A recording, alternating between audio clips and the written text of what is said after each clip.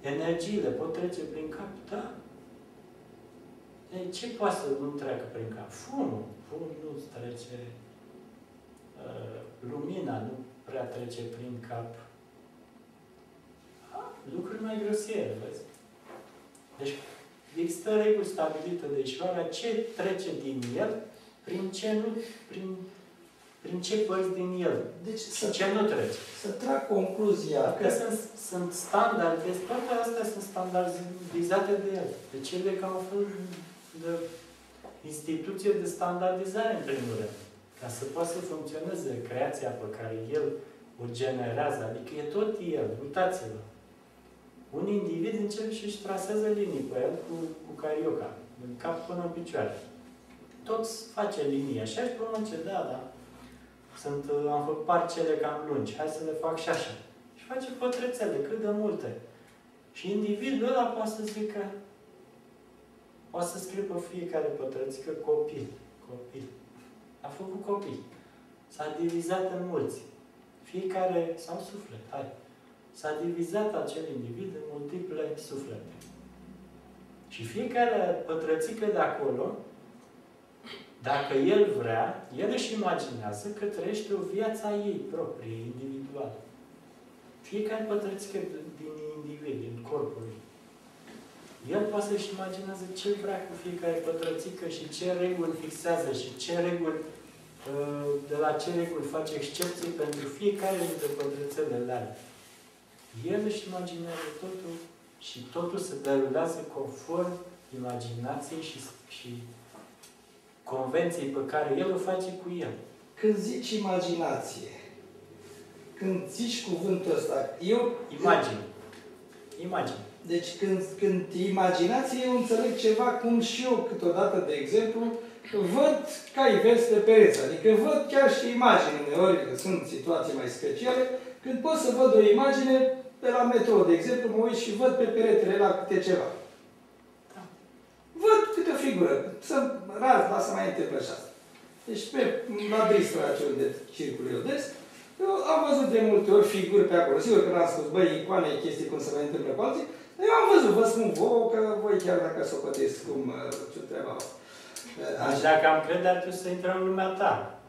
Dacă vrem să stăm așa, în deci, noastră... Deci, așa cum văd eu acolo, așa imaginează, el asta vreau să știu. Simplu. Acea experiență pe care o trăiești, știi, sau fantasmagoria, sau uh, mirajul pe care îl ai în deșert, toate lucrurile astea sunt date ca să te trezească cumva, ca analogii. Mai, mai exact. Să spună, uite ce face cineva la nivel cosmic. Uite așa face el cu el, și uite, așa face, cum faci tu cu, cu spațiul ăsta. Vezi, vezi lumi, vezi imagini, vezi indivizi unde nu sunt. Deci, așa cum văd eu la metrou ceva, și, da, și când vine metrou, ăla e altceva, e de altă natură, e de... E grosier, ăla e un obiect care trebuie să fie acolo, e așa e scris. Bun, dar ăla, ăla pentru cel care l-a imaginat e ca ce am văzut eu pe perete? Absolut la fel de aceeași natură. Metrou pentru Ișoară este precum obiectul pe care tu ai senzația că îl vezi sau ai viziunea respectivă. Este și numai prostul de el nu vede metrou diferit de imaginea aia. A, bineînțeles. Asta e altceva. Asta e, înseamnă limitare. Individul nu poate să, să cuprindă totul dar Ișoara, el prin totul... Dar nu mai că nu cuprinde, dar nu vede natura. Păi da, dar ți se explică. Tot el îți explică. Cine crezi că explică acum? Și cui? Eu, Lurelu?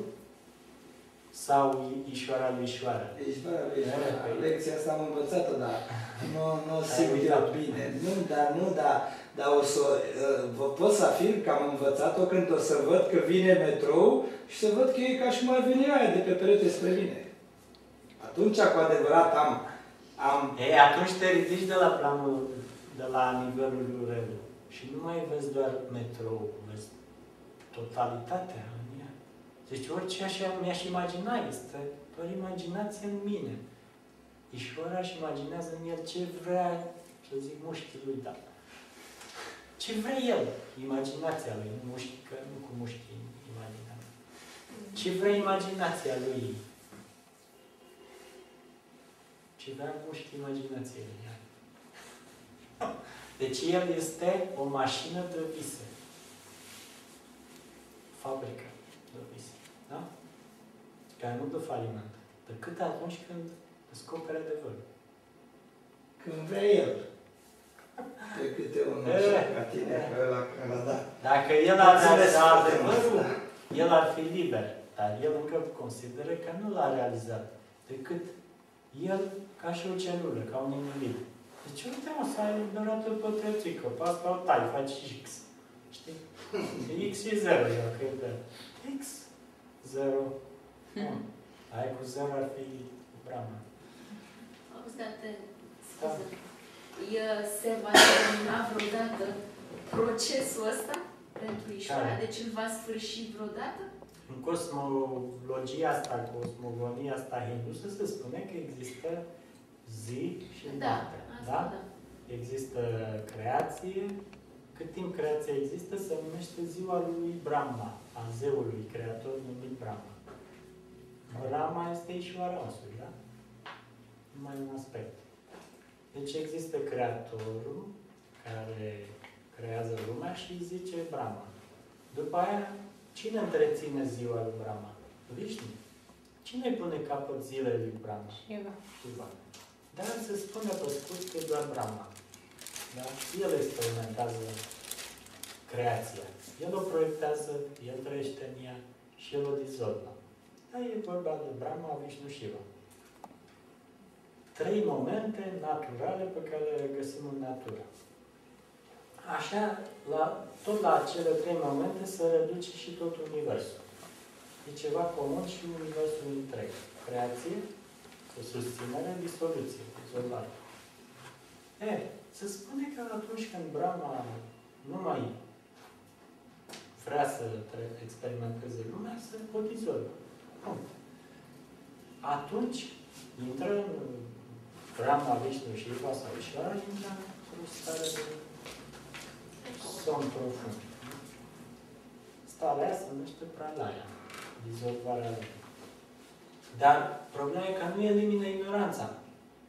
Și ignoranța este în somn profund, uh, așa cum este ignoranța în starea de pralaya, de dizolvare, disoluția lumii. Deci lumea nu e dizolvată, ci doar adormită total, complet. Ea este reabsorbită în, în, în concept, în sămânță. Da? Maia care o vedem, asta e maia grosieră, maia efectul. E, asta se reduce în cauză, maia subtilă. Și atunci există un timp în forma aia, subtilă, nemanifestată, și punctul slab, punctul, să zicem, prost, este că de acolo urmează să se renască iar. Dar ce se întâmplă în cazul în care chiar însuși uh, Brahma, Vishnu, Shiva sau Ishvara, mai bine spus, dispare? Atunci nu mai există întoarcere. Numai în cazul ăla, numai atunci se dizolvă totul. De-a bine.